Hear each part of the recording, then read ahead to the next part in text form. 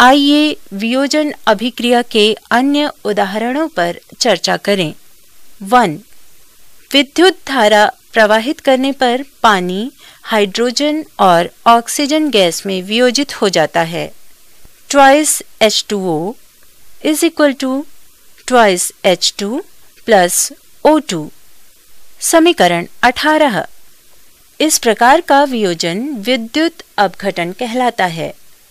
To calcium carbonate का calcium oxide तथा carbon dioxide में टूटना एक वियोजन अभिक्रिया है, जिसका उपयोग विभिन्न उद्योगों में होता है, जिसमें सीमेंट उद्योग प्रमुख है।